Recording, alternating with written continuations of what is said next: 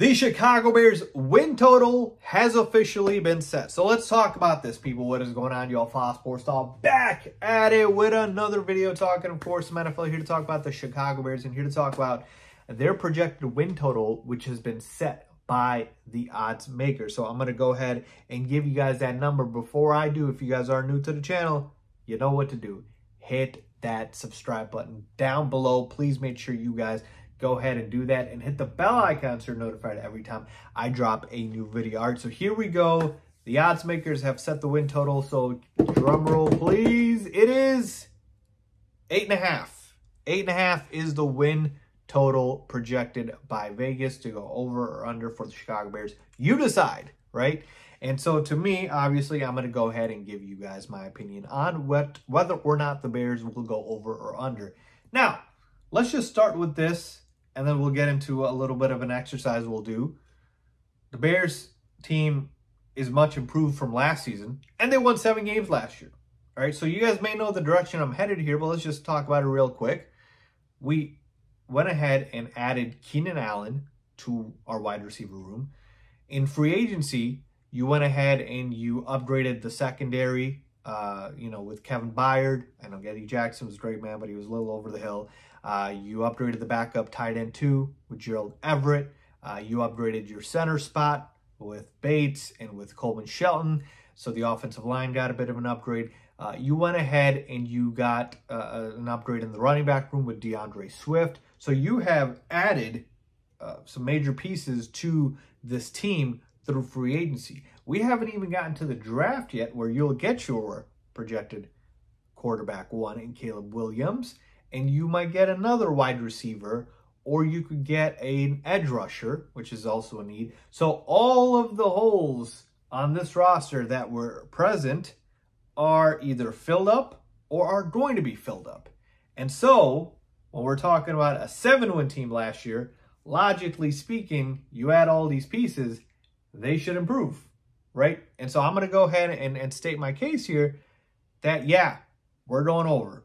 All right. Now, you could end at eight wins and still be under, but still improve from the seven win total. But I'm going to go ahead and say that the Bears uh, do improve over this eight and a half mark. And a large part of that isn't just the roster, right? Because the roster is going to be much improved, but a large part of that is the schedule.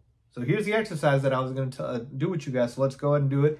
Here is the schedule for the Chicago Bears for next year. And actually, I shouldn't say schedule. These are just the opponents. The schedule, the order will be set later on, but we know the opponents. So let's just do a little exercise here, right? Wins and losses. So here are the opponents, home and road. So I'm going to go through this and, uh, you know, give my best shot at this. So at home, the Chicago Bears play, obviously, our three division opponents, the Lions, Packers, Vikings. I'm going to say this to you guys, all right? I think with the Lions, we split against them next year.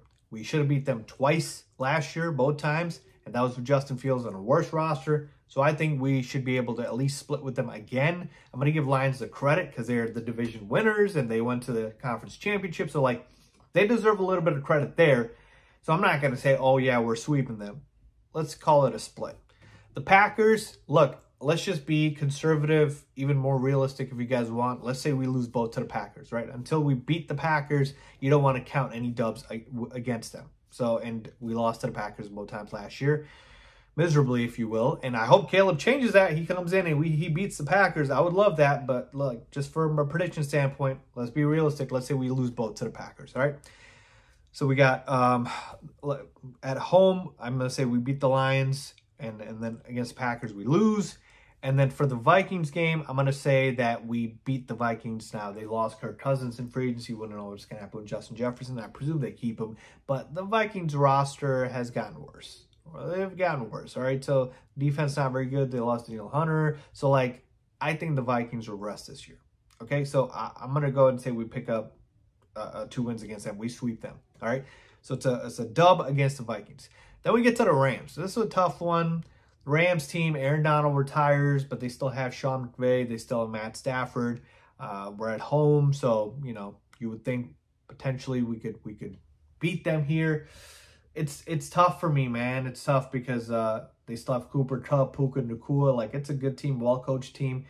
I'm, I'm trying to be conservative. Let's just go ahead and say we lose this game. All right, let's say we lose this game. All right. Uh, moving on to the Seahawks. I don't think the Seahawks are very good anymore. I, we have Shane Waldron, their former OC, so um, you know I think our roster's better. Uh, Geno Smith is there, but you know they have DK Metcalf, Tyler Lockett, a year older. Defense not very good. No Pete Carroll. I'm gonna say it's a dub for the Bears. I think I think the Seahawks regress this year. They kind of go into a little bit of rebuild mode. Then we got the Jags with Trevor Lawrence and company, and uh, they did lose Calvin Ridley, uh, but this is a potential playoff team, man, with Doug Pederson and company. I'm gonna say uh, they're more experienced. I'm gonna say L. I'm gonna say we lose to them. Okay, so we lose to the Jags. Then we got the Titans, all right? And I'm trying to be conservative here, guys, so just work with me. We got the Titans next. And the Titans, um, as we all know, they kind of just went crazy in free agency, right? Added a bunch of pieces. Calvin Ridley's there, Tony Pollard. They traded for L'Jarius Sneed. They signed Lloyd Cushenberry. Like, they went all out to support Will Levis, their uh, rookie going to second year quarterback now. Um, so that roster on paper is really solid. Um, but are they good enough for us to, you know, lose to them? Uh, so right now, again, just being ultra conservative, I'll say, you know, fine, we, lose to the Titans. Okay, uh, it just worked with me here. Let's keep going. The Panthers. This is this is an easy dub here. The Panthers still not very good. Roster's not very good. Ryan Poles company owned the Panthers. We own the Panthers. So let's go ahead and mark this as a dub. Moving on, New England Patriots. I think we beat the Patriots as well. They're not very good going to a rebuilding year. They're also going to draft a rookie quarterback. So I'm going to go ahead and say we beat the Pats. All right, let's move on to the road. Okay, so on the road, we got the Lions, which I said, said we'll split with them. So that's a loss. The Packers is a loss. Vikings is a dub. Cardinals not very good still. I think uh, they'll add some pieces, but I still think uh, we can beat them. Porous defense, so that's a dub.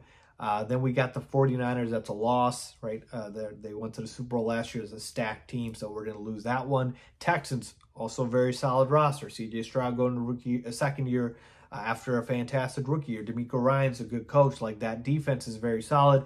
That's a loss. Uh, then you got the Colts. I'm going to say it's a dub. The Colts to me with Anthony Richardson, um, really, right, I know he's going to be going to the second year, but barely played in this first year because of injury they don't really scare me. Nothing about the Colts tells me, oh, we can't beat this team. I'm going to say it's a dub. Commanders, it's a dub. So that is uh, basically my count here. So let's go ahead and count up the dubs here. So I got the Commanders, Colts, that's two. Cardinals is three. Vikings is four. Then we got the Pats five, Panthers six, Seahawks seven, Vikings again eight, and then Lions at nine. So there you have it. Nine wins right there, being ultra conservative. I gave us a, a loss against the Rams. I gave us a loss against the Titans. I, I think these are teams that we can beat, but I'm trying to be conservative here, not go crazy. So I'm going to say nine and eight is what the Bears finish next season with the addition of weapons, with the hype and, and production, hopefully that comes with Caleb Williams, with just an improved, more improved defense, with more experience. Like, all of those things combined. And I'm going to tell you guys a fairly weak schedule. Like, this is not an intimidating schedule. They should be, if they are healthy, knock on wood, be able to reel off nine wins here. So, but it's a sharp number by Vegas at eight and a half.